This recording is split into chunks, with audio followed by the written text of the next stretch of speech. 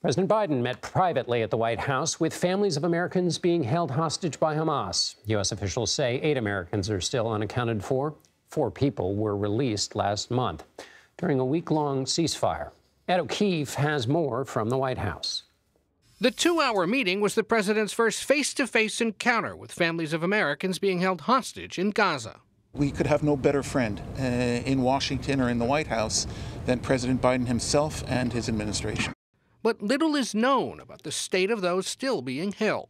Was the president able to share anything about their condition? We're going to keep the, the content of the conversation private. The White House says there are eight Americans still unaccounted for, including Americans still being held hostage. It is believed 135 total hostages of varying nationalities remain in Gaza. The meeting came a day after the president, for the first time publicly since the Hamas attacks, questioned Israeli Prime Minister Benjamin Netanyahu, saying he has to change as Israel's coalition government is making it difficult to establish a Palestinian state. Mr. Biden also said Israel is losing global support for its indiscriminate bombing of Gaza. Attacks deemed indiscriminate are usually considered violations of international law.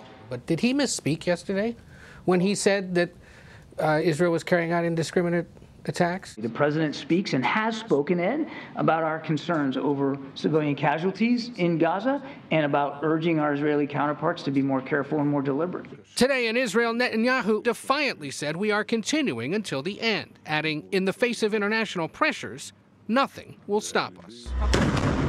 In Gaza, heavy fighting continued, leading to the deaths of 10 Israeli soldiers, their highest single day losses so far. And Ed O'Keefe joins us now. Ed, we heard a bit in your piece about how Biden is now criticizing Israel's Netanyahu. Um, how is the White House strategy changing other than those one set of remarks?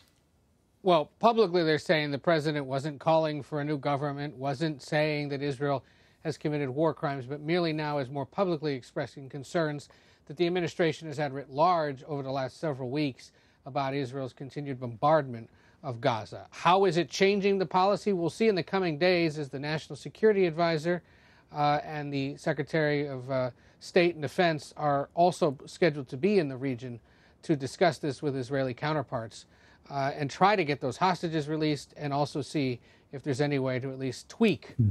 Israel's military strategy. And uh, speaking about the hostages, what do we know about what the White House is doing to try to uh, release more of those hostages or press for the release anyway? So the fact that he took this meeting is a sign of how seriously the White House still takes this matter mm. and a signal to Israel and Hamas, of course, that he wants them released and all the other hostages for that matter. And maybe there's a chance for another pause to get them out. Also important to note, John, it is incredibly rare for a president to have any kind of encounter with the families of an American that's deemed wrongfully detained in another country. They usually don't want to have the president do that because it could lead to more risk for the person being held, could you know up the ransom from that captive, the country holding someone captive. In this case, the calculation is so much of the world is paying attention to it. So many other countries have had people wrongfully detained, held hostage, mm-hmm. that by putting pressure on the situation, perhaps they can all get released. Ed O'Keefe at the White House for us. Thank you, Ed.